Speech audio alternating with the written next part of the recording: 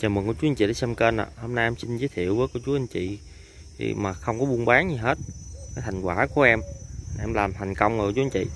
À, cây táo của bà nội em của chú anh chị nó không có trái rồi nhờ em à, làm sao cho nó có trái à, dùm. À, có bông rất là nhiều luôn mà nó không đậu của chú anh chị.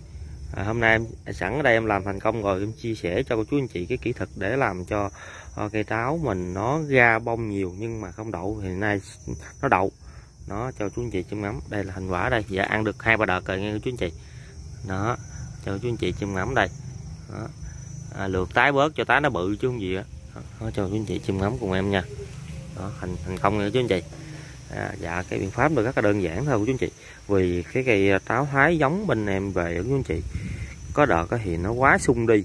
Thì thành ra sung quá thì chắc chắn với chú anh chị là nó sẽ đi bông nó không có đậu trái. Biện pháp là sao? Về của chú anh chị cứ mạnh dạng và phanh gốc như em đây. Nó đó, phanh này của chú anh chị. Đó. Đó. Đó cho chú anh chị chung ngắm này. Đó, cái bự nữa kìa. Đó. Dạ. Chú anh chị à, phanh gốc bằng à, cái cái lưỡi cưa sắt thôi chú anh chị. Hoặc là của chú anh chị có lấy dây chị số không của chú anh chị quấn hai vòng rồi chú anh chị siết. Đó.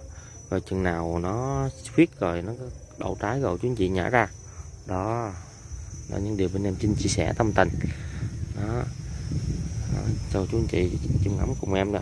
Là cây thiệt người thiệt việc thiệt. Đó. Cầm tay chỉ việc dày cho chú anh chị dễ hình dung. Đó, đó. Có nhiều chú anh chị thắc mắc lắm. Đó. tòng táo có, có có người thì đậu quá trời đậu luôn có người không có đậu.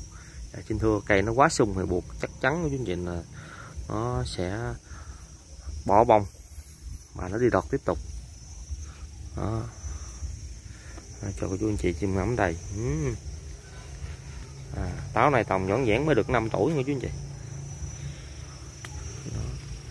chia sẻ cái thực uh, cho cô chú anh chị nha. Dạ. Rồi sẵn đây em nói luôn nè cho chú anh chị nè. Đó. Cô chú anh chị thấy không ạ?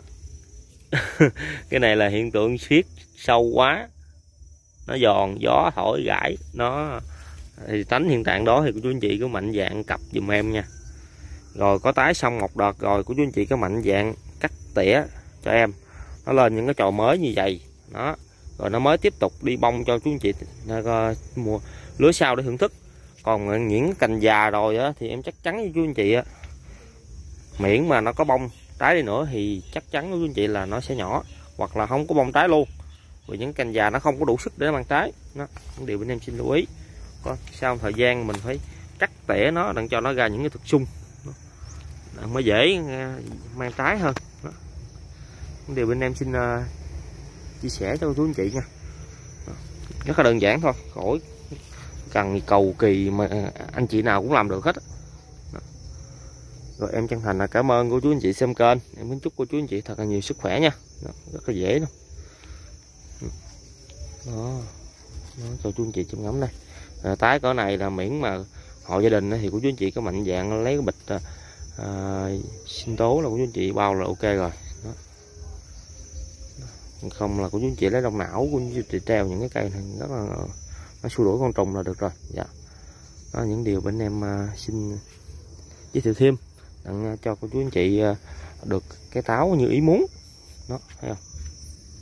Không cần nhiều quá chú chị. Nhiều quá thì chắc chắn thì chú là tái nhỏ nên cứ mạnh dạng lượt bỏ bớt giùm em. Chứ không gì rồi thấy nó bự. Đó. Rồi em chân thành là cảm ơn cô chú anh chị xem kênh. Em kính chúc cô chú anh chị thật là nhiều sức khỏe. À, có mua cây táo giống thì xin liên hệ bên cửa hàng bên em. À, và bên cạnh đó bên em có nhiều dòng cây à, trong và ngoài nước độc lạ nữa. Rồi em chân thành cảm ơn ạ.